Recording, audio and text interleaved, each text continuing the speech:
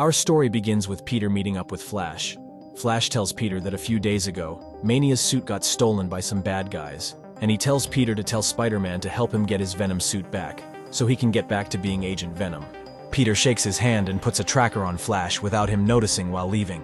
Next, we see Venom holding an arms dealer and threatening to kill him, but the dealer tells him that his guns are toys, not real, and that he is really scared of all of this.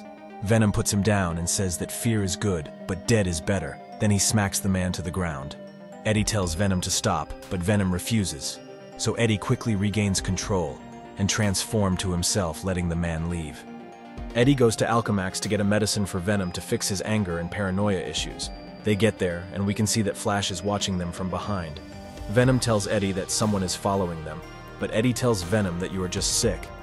Then Flash goes to the reception and tease them. The guards come and throw him outside. Then he opens up a door with a pass he stole from a guard.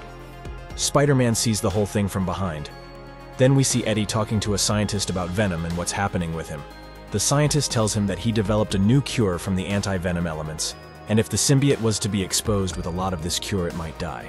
Flash goes in saying that no one will hurt it anymore. Eddie tells him that the symbiote is back where it belongs. Flash tells him that I'm the one who taught it to be a hero, and from what I saw, you barely can control it.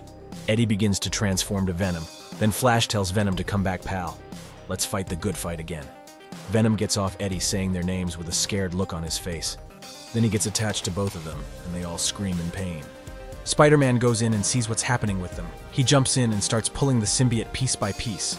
Then the scientist tells Peter that the tanks are full of liquid that hurts symbiotes but harmful on humans, so he pushes one tank making all the liquid go on Flash and Eddie, but Eddie holds Flash in front of him to protect him from it.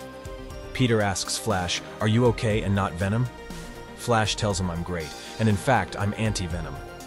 This is the end of this story. We may also consider it as Agent Anti-Venom's origin story, where now Flash is the host of the Anti-Venom symbiote. Thanks for watching. See you next time.